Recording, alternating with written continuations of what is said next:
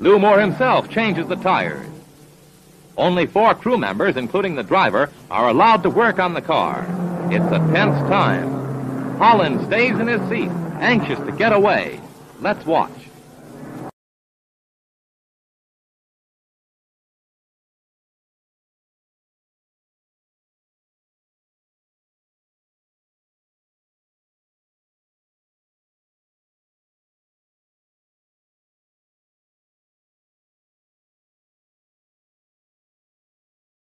The tires are changed at last.